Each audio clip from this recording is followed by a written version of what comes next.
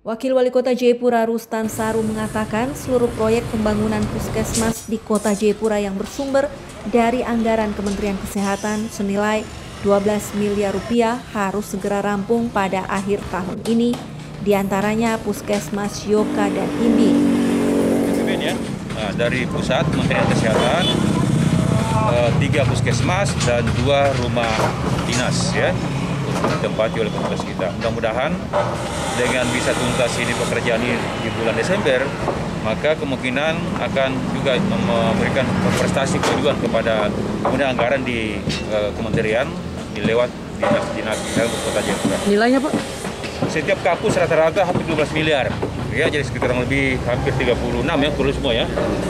Dari tiga titik ini. Sementara itu, Kepala Puskesmas Imbi Dr. Johannes Raja Pikir Siregar mengatakan, saat ini dengan pembangunan puskesmas yang baru, seluruh pelayanan rutin puskesmas dialihkan ke salah satu rumah di kawasan Dok 7 Pertamina dengan sistem sewa. Karena adanya robo bangun, jadi kami puskesmas uh, Imbi untuk sementara kami pindahkan di dekat kantor di Dok 7, di kantor dekatnya Pertamina. Dan pelayanan kami lakukan sehari-hari seperti biasa dan kami di sana untuk sementara untuk disewa saja dan perkirakan mungkin uh, Januari juga sudah berakhir.